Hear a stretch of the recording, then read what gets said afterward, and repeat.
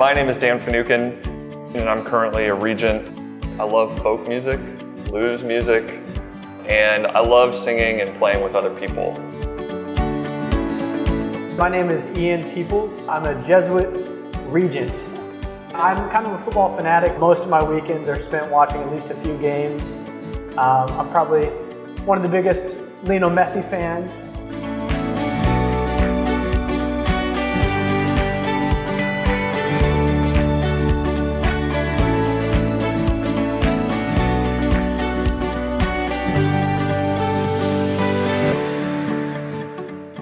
Hello and welcome to MagisTalk. I'm your host, Ian Peoples, and I'm joined by my friend and co host, Dan Finucane. Hi, we're joined by our good friend all the way from the US, Father Michael Wegenka, who's currently visiting Belize for a few days. And he's asking some big questions of young people here. Um, who is God calling you to be? And more specifically, uh, Father Michael is a vocation promoter for the Society of Jesus, our province. Um, and Belize is part of his region that he is inviting young men to consider a vocation to the Society of Jesus as a brother or as a priest. Um, Father Michael has had a couple of other assignments, um, mostly working with young people uh, in, in high school ministry. And so we're really excited to have you with us today. Welcome to the show. Welcome to Belize. Thank you. It's great to be here. Yeah. So it, it is your first time to Belize, Father Michael. So First time ever. first impressions. How, how's it been so far? Yeah, I would say uh, I've loved um, just flying over the country and being able to see the different, like the coast and then the mountains, uh, the kind of the rainforest areas, and just seeing all the different terrain and the, the water from the air is just beautiful. Um, been really uh, feel very welcomed just by the, the hospitality of people here. Um, and yeah, had some good food already, and people just seem friendly and happy. And I guess living in a beautiful place is uh, reason enough to be happy. And so I feel like I've kind of been taking that in and um, smiling a little bit more since I've gotten here, and uh, really enjoyed it. So Well, it is, it is great to have you. Yeah, you've already been all over the country a little Yeah, bit. you've been you've been to Punta Gorda, which a lot of people in Belize City have never been to Punta Gorda. So That's you, right. you've done something that a lot of Yeah. Belizeans haven't done. it's great. Really enjoyed it. You went out to, to San Antonio to visit uh, San Antonio Village. I did, yeah, Yeah. and uh, saw the, the rectory and the parish there. Got to meet some of the people who look after uh, the parish in San Antonio, and yeah, really great. Uh, hope to be able to come back there. Um, saw the waterfalls outside of San Antonio, and got my feet wet. Um, so Great. I've been in the water in Belize, uh, which is something I definitely wanted to do, and uh, yeah, have really enjoyed it. So Don't they say if you drink the water, you're gonna come back, you're gonna stay? They do say that. That's that's a saying. Yeah, Yeah. people say that all the time. I drink a lot of water here, so I think I, might, I might, come, might come back. Well, and it is your this is your region. So is. Uh, our province is is large. Right? Yeah. So if you get a sense of the southern part of the United States, from Colorado, New Mexico, all the way over to Florida, that southern half, that's all the UCS province, including Puerto Rico and Belize. And so it's huge. And so your region includes what? Yeah, so I have Colorado and Kansas, uh, Oklahoma, New Mexico, and then Belize. So I like to tell people that uh, I couldn't decide whether I like mountains or beaches, so I got both, and uh, and some plains and, and kind of desert arid areas in there as well. So Yeah, great. Well, we hope to to have you back a, a lot more as well. for sure, yeah, hope look forward to it. Yeah. Well, what we usually uh, ask people to begin with is just kind of to tell us a little bit about your faith uh, growing up and what was it like uh, in your family, um, what role faith played for you as, Yeah. as a young person. For sure. So I'm the youngest of uh, four children and uh, was a cradle Catholic. I'm a cradle Catholic, so my, my family would go to Mass on Sundays uh, religiously, if you will. Uh, and uh, that's a pun. Uh, and um, uh, yeah, but we didn't pray a whole lot outside of like meals and things uh, outside of that. So um, but my faith from an early age was, uh, I think, kind of challenged by um, having to. My brothers and I would get in the car after mass and we talk about the homily and kind of like dissect the homily and challenge each other and we kind of argue over it and everything. And so just this kind of like intellectual engagement, I think, with uh, the preaching that I was hearing at Sunday Mass uh, from a very young age uh, kind of planted in me a curiosity uh, in kind of theology and things of God, uh, my faith. And so after I came out of kind of a, a period of kind of finding myself um, in middle school and early high school, that was something that kind of called me back was this kind of intellectual interest and knowledge, and then also this desire to share it with people and uh, and talk about it, especially with people I'm close to, as a way of kind of building community around um, the truths of the faith and the practice of the faith. Um, so yeah, I would say like an intellectual component, but then also uh, a very strong kind of community uh, component that uh, my, my parents and my family, uh, we prayed before meals uh, very faithfully. And uh, that's something that I still do to this day, even if I'm by myself. I'll pray before I eat, simply because it was ingrained in me from a young age. And I think that's true of kind of religious Yeah. practice in general for me. And you went to Jesuit high school. I did. Yeah, you went, Yep. to, you went to Strake, right? And I did. I imagine Strake had a pretty significant impact on you. It did, yeah. Yeah. So, uh, yeah, I would say middle school was kind of difficult. I, um, I was trying to uh, pretend like I was a, a surfer kid and pretend like I was doing th- some things that, We heard you actually went surfing though. yeah, I didn't actually ever go surfing, but I wore the t-shirts and all the rest. Um, so, but because of that, I just got kind of bullied and felt very uh, like I wasn't myself because I was kind of pretending to be something. And so, high school at Strake Jesuit in Houston was really important for me to kind of come back to know myself and to uh, find friends who knew me for who I really was instead of who I t- pretended to be. And then ultimately to uh, get involved in going on retreats and then also putting on retreats for others and actually like giving testimony and um, leading retreats. That was a huge aspect of uh, my faith in high school. These are Kairos retreats. Mostly? Yeah, Kairos was the big one for sure. That's the yeah. big, the big. Uh, Some of our one. viewers will know what that is from SJC involvement, but yeah, what were those retreats like? I mean, how did that kind of waken up the faith? Yeah, I would say uh, it just made the faith um, very. It, I mean, Kairos is all about story and storytelling, and so I think um, I think I had kind of an intellectual notion of who God was, but to hear people tell stories about how they uh, had come to know God and um, how God had especially been present to them in moments of fear or defeat or just tremendous struggle, um, and that they actually found community with other people in the midst of those struggles uh, that was just something that I had not encountered uh, in, a, in as forceful a way as uh, I did on that retreat. And um, I just really wanted to be able to share my story and be present to other people as they tell their story. Um, because it did just remarkable things for me and uh, helping me have a sense of myself and then my place among these friends that I made on retreat. And you know, it was during high school then that you felt called to consider the the Jesuits. What what was it that got you interested? Was there a particular Jesuit? Was there I don't know, was there a moment that you can point to? Yeah, for sure. So I think that that transition from kind of middle school, um, eighth grade, uh, when I was maybe 12, to freshman year when I was 13, um, I had a, a Jesuit priest, Father Mark Thibodeaux, who was my freshman speech teacher, um, you know well. He's been on the show, actually. Oh, is that right? He's been on the Oh, show. Yes, I- was our first I thought you were watching the show. Legendary. Yeah. I've, I've missed a few episodes, unfortunately. Um, You can always go back on YouTube Yeah. or Facebook. yeah, I, I might I might do that. Um, but he uh, he kind of recognized that I was just really insecure and quiet and unable to like do public speaking in front of people or cameras. And uh, and he kind of took me under his wing and um, and kind of talked me through basically how to share my story, how to um, yeah, just kind of have you know like some points that you're making and um, to not get into the power of fear. Um, and that was just a huge lesson for me at that age, especially. And I think it paid dividends in my friendships and relationships throughout high school. But then when I got to the end of high school and I looked at the men in my life that I really admired and wanted to imitate by following, you know, a path similar to them, uh, I looked at my, my, my dad, um, who I'm very close to, and, uh, and Mark Thibodeaux. And these are kind of the two ways that uh, I seriously considered um, at the end of high school. And um, anyways, long story short, yeah, um, although my dad and I had made plans and um, I was accepted into a business school and, and really set on following in his footsteps and going into the finance world and um, being just like him, uh, I found that like what I received in high school and the joy that I had in sharing my faith and being on retreats was something that was just uh, yeah, something I wanted to give my life to entirely and hold nothing back.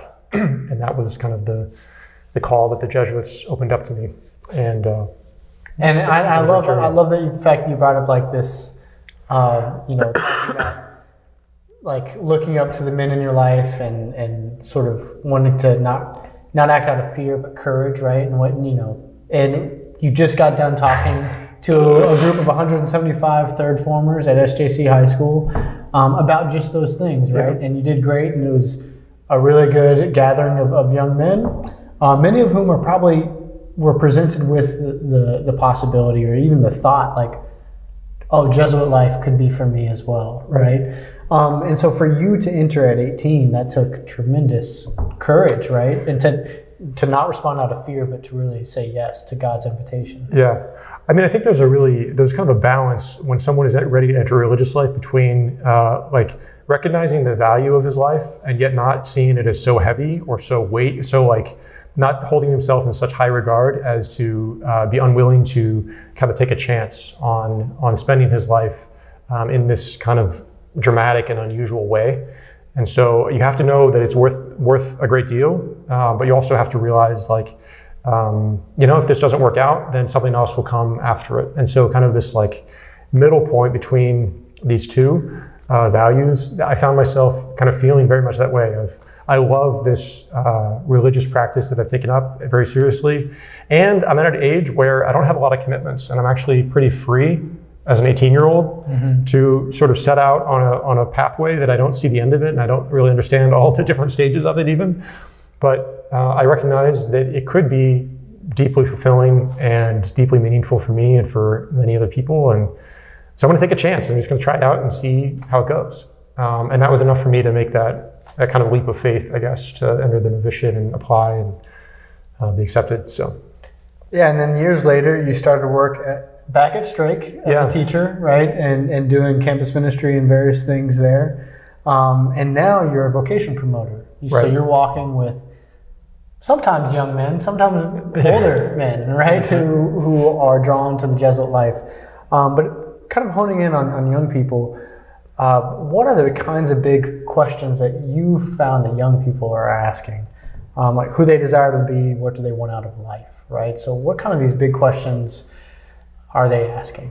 Yeah, I think authenticity is the first thing that comes to mind. That uh, I think all of us are just wanting to be ourselves at our best moments, and so there's all these books on focus or uh, like deep work, and all these all these like ideas around how to um, be like fully attentive to what's in front of me, in order to then kind of enjoy the benefits of that sort of work or that sort of relationship, and uh, that there's an authenticity that I think we all encounter in our best moments but then we also have this like deep struggle to uh, to be attentive, to be able to focus, and um, and there's lots of different ways that manifests in our life. But I think uh, just the experience of wow, I did something and I really enjoyed it, and it was deeply fulfilling, and I was at my best.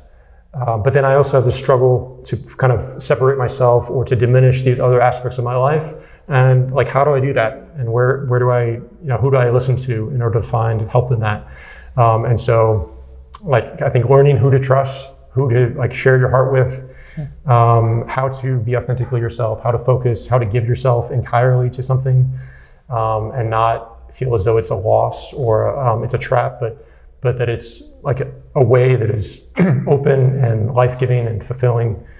Um, I think these are big questions that uh, young people, especially, um, that things are just more intense. I think for young people and um, like stronger flavors, uh, stronger experiences.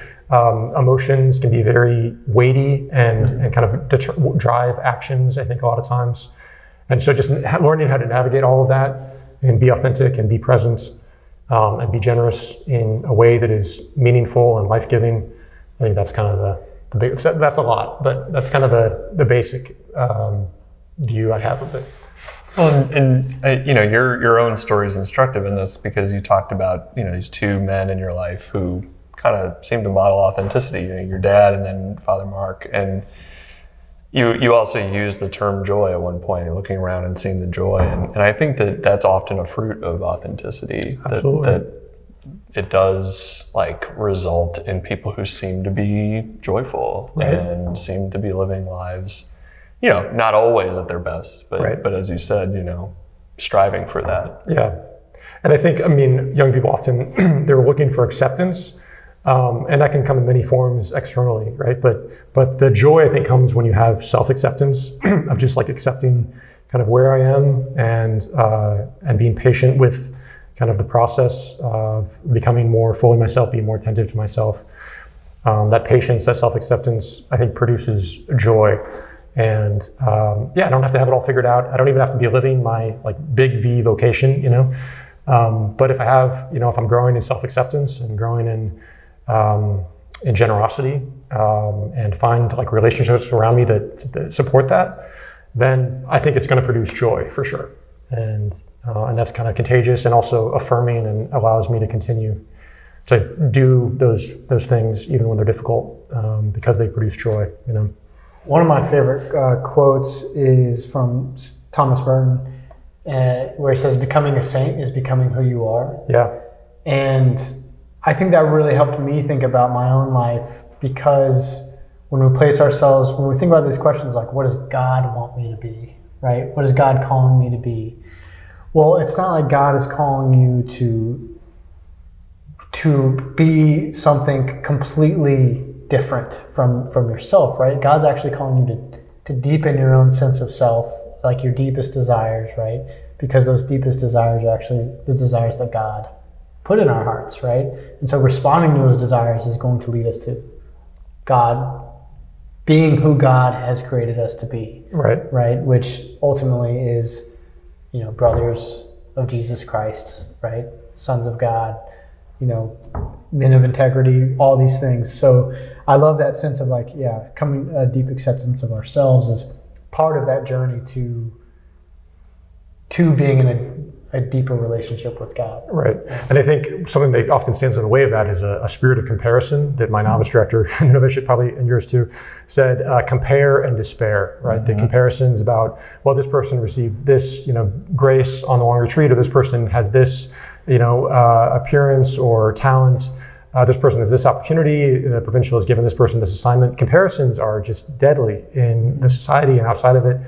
Um, and it's ultimately a sort of like envy um, and, and what that leads to is a lack of gratitude a lack of like accepting my own gifts and accepting that god hasn't given me you know the skills to be uh, a division one athlete or you know an outstanding um, a public speaker or whatever else it is you know or uh, a full head of hair you know as the case may be uh, that god has like given me certain gifts and then taken other things and uh, or allowed things to be taken from me and um, it's all part of his plan. And I think if I'm making comparisons and noticing what I'm lacking, then I'm not attentive to what is present and to the gifts that God has given me and a spirit of gratitude. And that's ultimately going to stand in the way of that self acceptance and that, um, yeah, of, of just being present and knowing, knowing what God's calling me to here and now, you know? It reminds me that that saying remind like a, a, a version of that of it that I heard um, when I was going into long retreat. I had a former student actually, so like an 18 year old who who wrote to me and said, "Comparison is the thief of joy." Yeah. And just to go back to what you were saying, I mean, it's like, yeah, Right. like we're aiming for joy. Right. yeah. And envy is, uh, I recently heard a talk where uh, the speaker said that envy is the stupidest of all the vices because uh, from the very beginning, it is bitterness and disappointment. All the other vices, you know, they give you a little bit of pleasure before they take the rug out from you and you find yourself miserable. Whereas envy is never, it's never good for us. It never gives us anything we want. Um, it just robs us from the very beginning, you know. And ever since then, I, I've just really tried to be more attentive to envy and this spirit of comparison because it does. It just causes, from the very beginning, you know, causes heartache. Um, Going back, you, you talked about small V vocation, but to talk about big V vocation for Yeah. a moment. So you're a vocation promoter. I am. and there might be people you know watching this who are like what on earth does that mean uh, so what what's your job like what do you what do you get to do as vocation promoter Yeah, um, it's uh, it's a fascinating question because it's something that I'm kind of learning as I go, and so this is a job, um, a mission from the from my provincial from the society to uh, promote vocations and to facilitate the discernment of a vocation among the women and men that I encounter. Um, and so uh, the way I understand it is the best I understand it right now. There's kind of three components of it. One is uh, just exploring the territory and just getting out there and meeting people. Um, a lot of university and uh, kind of college age students in the United States, but but really just anybody that is in a stage where they're able to make a big decision about uh, the course of their life, um, and just to spend time with them basically, and to be present to them, offer spiritual direction as best I can. Um, the second one is to visit Jesuit uh, works and apostolates and communities and support the work of um, the Jesuits who were there in, uh, yeah, kind of following up with people that the Jesuits recognized could be, you know, potential discerner. Um, and then the third one is just uh, to engage in supply and ministries because I'm a priest as a sacrament, the sacraments as well, uh, spiritual direction, just trying to be of service to um, the local church and whatever ways they need. Um, so uh, those are kind of the three big things. And then following up with discerners once they enter into uh, the process and, and, kind of discernment uh, with us to follow up with them periodically is another big part of the job. So, so far, what's been the best part of being a vocation promoter? Yeah, um, I, I, think the best part has been uh, just constantly discerning, you know, where is the greatest good, where is the best use of my time, where can I have um, like the most meaningful uh, in, interactions with people who are at a stage of uh, you know making a, um, a, decision about their life and uh, just constantly keeping my eyes open. I think that at certain stages of my life um, as, a, as a Jesuit, I've kind of had you know my my nine to five is perfectly scheduled for eight or nine months of the year. And so I don't really have to be on the lookout for, you know, what is the, the greater good here. Whereas now, I mean, I'm constantly um, or to you inviting me to, to do something new here that I've never done before that might make me really uncomfortable. Um, that might be a place where a Jesuit has never gone before, um, at least not recently. And, uh, and often the answer has been yes. And that's just really exciting to me. Um, I'm kind of like blown away by the, the faith and the trust that our provincial has in me to be able to make these this kind of discernment and be open to you know these new possibilities because it is it's just it's remarkable of like i'm i mean i've been a jesuit for 18 years but i still feel like i'm still new you know like it's still new to me and this is a big responsibility this is the future of our province you know in some ways that's at stake and um, it, really little old me is is able to make this discernment and be trusted with this like that's that's just a gift and uh, and so i really enjoyed that um, but I've also seen some really cool places and met some fascinating people, and that's also yeah. You're a man on the move. How, yeah. how many how many months out of the year do you think you're you're hopping around? Yeah, so I mean, June and July is 100% booked, which is crazy.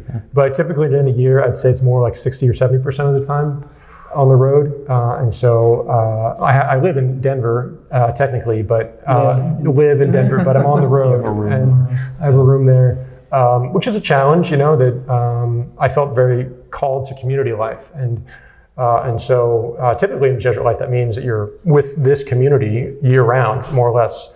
Um, and for me, I've kind of seen that that is, is changing. And now uh, I try to not go more than seven days without being with another Jesuit. And that's kind of how I've tried to find community while also being able to serve my mission as a vocation promoter. But there's definitely a tension there, and so far it's been a fruitful tension. But but um, yeah, Jesuits are not made to be lone rangers, you know, and mm-hmm. uh, and I definitely don't want to be away from a Jesuit community uh, for long if I can help it. So. As you as you've gone around and talked to all these different groups, got young people, um, men and women, right? Because yeah, when you visit sure. colleges, you're, you're talking to men and women often. And but what are some obstacles that you've seen young people talk about Is what, what, what's standing in their way from responding to God's call? Yeah, a couple things. One would be uh, anxiety, um, which sometimes has like a clinical basis, and actually people really need to, to look at seriously. And uh, I, I recommend like therapy and, and counseling um, a lot actually, because I think most of us benefit from that, and uh, and that can be really helpful. But I would say anxiety, uh, just pressure from peers or family or uh, just kind of the world of I have to have a career, I have to have a five or a 10 year plan, I have to know what I'm doing with my life. And it's all this external pressure that makes actually coming to a decision, a good decision, nearly impossible. And so I think um, the first step is just to evaluate where is this pressure coming from um, and is it you know authentically helpful to me or uh, or necessary or is it something that I just receive and accept without really considering whether or not you know, that I need to have a 10 year plan. Maybe knowing, you know, the next few months is, is enough for me, you know? So I'd say like that, that anxiety is one thing to really just ask questions about and be curious about. Um, the second thing would be just a life of prayer that um, oftentimes we know that we love God, we know that we, we should pray or that we want to pray, but actually making a habit of, you know, having a holy hour or holy 15 minutes um, every day where I pray. Um, and, and just putting it off and till tomorrow or, or allowing other things to just distract me that can also be a huge obstacle and so i think starting small but being consistent um, that the lord asks us just a little bit but he does ask us to also to be consistent i think in it and um, and that way I can see the blessing because it's not just on my good days that I'm praying, it's not just on my bad days that I'm praying, but I can kind of see how God is present to me through the whole progression of different days, basically. Mm. And um, and that that's a, a, rock of stability in my life in the midst of all the other things that are going on. And I can start to plot and see um, where the movements of my own heart are, are directing me um, according to God's will in those times of prayer each day, you know. I really like what you said about anxiety. I think uh, I don't like that reality, but I think right. I think it's true. It, it, reminds me of a phrase. I remember uh, taking a class that had nothing to do with vocation or anything in college, but the professor talked about when you walk down the uh, the the uh, cereal aisle at the grocery store, and there's just like so many choices. Mm-hmm. And you refer to it as a tyranny of choice. Yeah, and I think that that's very real when we when it comes to like young people looking at what they want to do. Like the average person, at least in the U.S. anyway, has ten different careers. Like different, like not just like I'm teaching at this school, that I'm teaching at this school. Like they change careers right. in their entire working life. That's huge, and so to yeah to to kind of say well how do i invite god into that and yeah. the fact that prayer is so important i think is really crucial right um, but i think it can be really anxiety ridden because there are so many different options. Right. Mm-hmm. and i think that's just it's just important to be honest about the anxiety and just be able to share with speak to god um, just transparently about the anxiety. I think that's definitely the starting point. But the hope is that as I recognize this anxiety is overblown, or this anxiety is not from God, or this anxiety is not really anything I need to pay attention to, I can kind of set it aside, maybe make a note of it and set it aside, and then just focus on, all right, Lord, where are you giving me peace? You know, and it might be very small. It might be, you know, you're you have a uh, grocery store shelf full of options. But this one is just something that you feel less anxiety about it, uh, and you feel like I'm just kind of at my best when I'm focused on this one goal of just, I just want to be a friend to this person, or I just want to really do well in this one class. And the other ones, maybe I'll do well, maybe I won't, but this one class, like I just feel drawn to it. I feel interested in it.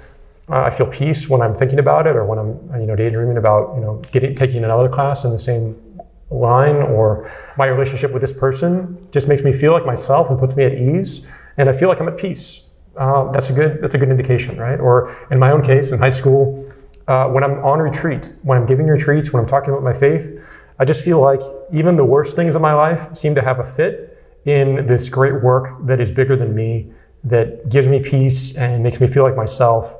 It just fits, feels right, you know. Mm-hmm. And uh, feelings are not always, you know, good guides. Um, I heard somebody tell me recently that feelings are great companions but terrible leaders, and that's true right? But if I'm doing if I'm doing what God is calling me to, there's going to be a feeling of peace, a sense of peace, an interior. You know, it's not just a feeling that comes and goes, but actually like re- resides in my heart. And even through the ups and downs, there's still this quality of peace. Uh, that's a sign that I've found something that you know is definitely worth investigating um, more and more. So, one of uh, our a mutual friend of ours, uh, Bill McCormick, um, Deacon Bill McCormick. He's yeah. being ordained this summer. Please pray for him. Uh, he talks about, he basically um, has, we were talking one day, and he's like, God's will is not a mystery. God's not trying to play peekaboo with us. Like, that basically to, to work against this, this spirit of anxiety, to trust that God is actually speaking to us. And when we seek out His will, God's going to guide us, right? Yeah. And, it, and it doesn't have to be this mystery that we decipher. Like, right. we don't need a secret code to be able to decipher God's will for our lives.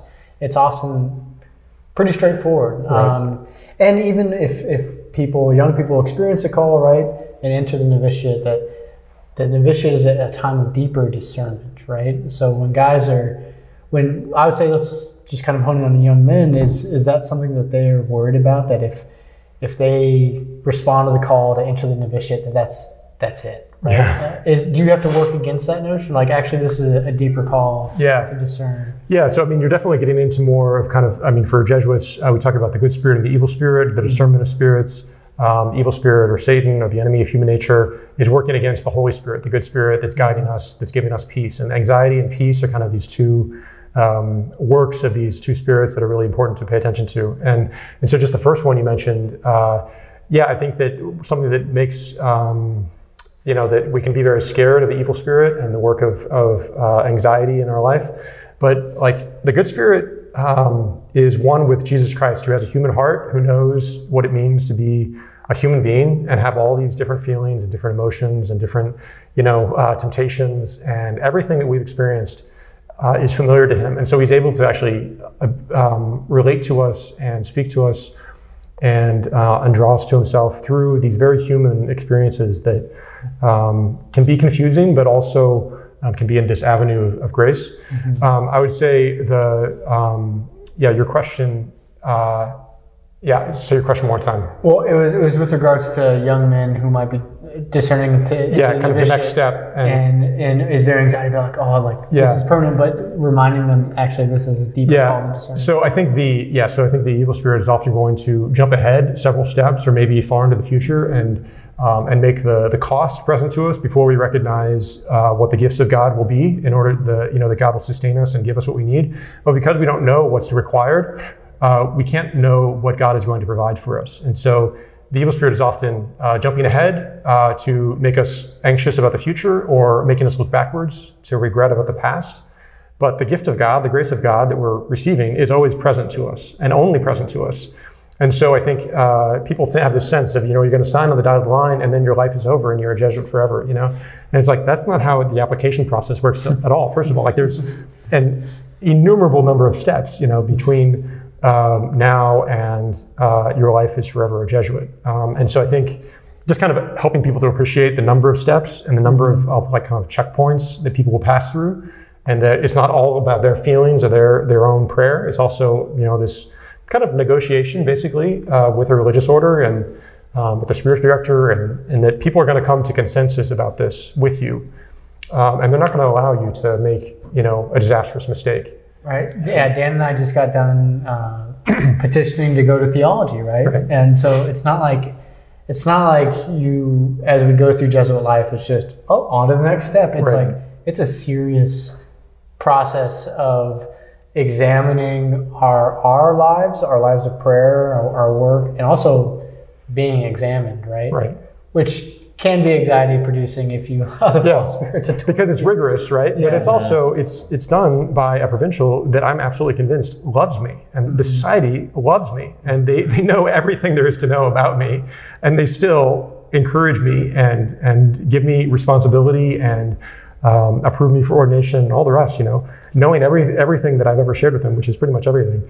Um, uh, it's a remarkable relationship and one where there is a lot of trust required and vulnerability that I am vulnerable to them, but uh, because they love me, it's it's trustworthy, it's worthwhile, you know. Yeah. And it's freeing Also, to be known so deeply and to be able to share in a transparent way. It is a way in which Christ is at work in our superiors, like loving us. I mean, Right. I, I've, I've experienced that. It sounds like, I mean, I think we, all three of us have. So Right. Yeah. it's, a, it's a humbling, beautiful thing. Yeah, and I mean the the Society of Jesus more so than than some other orders uh, gives us just an incredible amount of freedom. You know that there's not a set order to our day of this and this and this and this and this time of prayer in community and that time, but that it's really I mean our day there are requirements things we have to do, but it's really kind of can be moved as necessary. Um, and at the discernment and discretion of, of the Jesuit himself, and it's just an incredible trust that uh, even from early stages, you know, that we're given, and um, I think that has a, a, a fruit of greater freedom and um, yeah, just a, a reliability, a steadiness, you know, over time. So Well, taking, you know, this is our, our penultimate question. Okay. We like to say here. Um, and, you know, we've been kind of looking at young people and, and what their hopes are, how they're discerning their vocation, but kind of taking, you know, spanning out a little wider.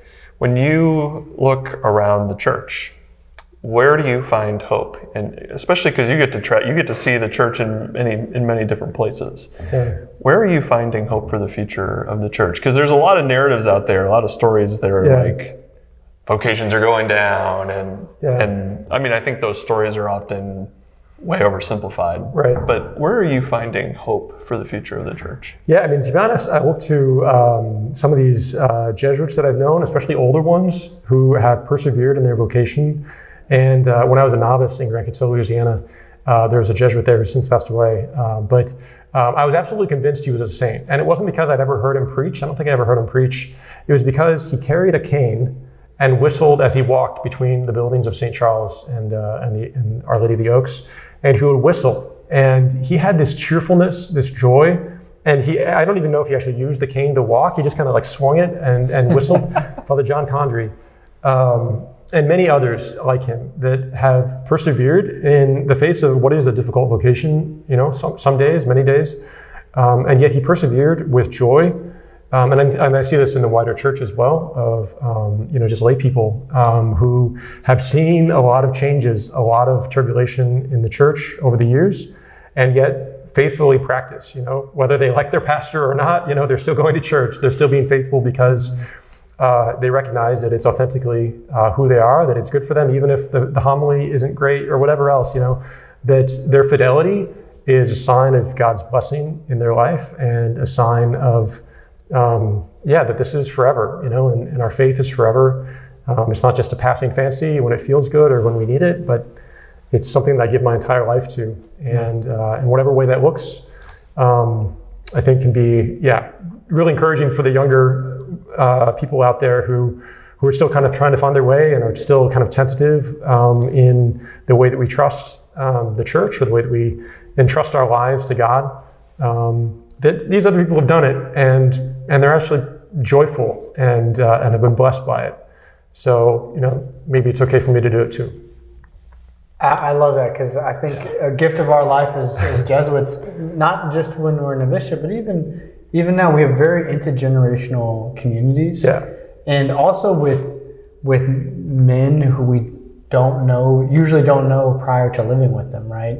Often don't know, and so there's this there, there's this great sharing acro- across generations that uh, I think yeah, I think it's easy to take for granted sometimes, but just the, the gift of that intergenerational, like a shared life, we're brothers, but we also span generations. You know, we have brother Carl Swift living in the house with us. Right. He's 89 years old, Yeah. you know, and he's he- Incredible. yeah, incredible. And so we, we get to benefit and, and really savor the graces that they've received as well. So that's Right. a real gift. Yeah, and I, I'm, I'm not going to talk about John Cashin, but I would say that learning from the wisdom figures in religious life uh, is super helpful. So, um, and we, we do that uh, certainly in the Jesuits, I think, uh, at our best moments. So, so This leads to our last question, Okay. which all three of us will answer, okay. but you're going to go first. Oh, okay, great. So, No we pressure. hope we hope it applies to you. yeah. And if, if not, then we'll cut this part out Okay, all right. and change the question. But the question is what is one of your favorite podcasts and why? Oh, wow. And we, we you listen to podcasts. I do. Right? You travel a lot. I'm on the road like- a lot. Yeah. yeah. and okay. so um, Jimmy Akin's Mysterious World okay. is an excellent podcast. It's, I mean, he, Jimmy Akin is, is Catholic, but uh, he basically just investigates. It's kind of like Unsolved Mysteries, that 90s show with the good music uh, back in the day. Um, but uh, he basically just uh, looks in mysteries, such as um, there was this uh, Soviet radar that uh, was producing this sound that could be heard on, on other radios around the world and things like this. And people didn't know what the sound was or where it was coming from uh, or why it stopped. And uh, anyways, he just like goes into the history of this uh, these kind of mysterious phenomenon. Um, there's also some really weird things that happen in the Western United States that he looks at. Uh, there's the the magical staircase of Saint Joseph in New Mexico. There's all these different ones, and um, I find it fascinating, and he kind of brings in an aspect of faith at the end. Oftentimes, it's also really great. So I've listened to a few Okay. episodes. Yeah, yeah, no, yeah. Super intelligent. Obviously, a super intelligent, like very rationally right, minded person. And so he breaks down these mysteries, yeah, in really, really interesting ways. for sure.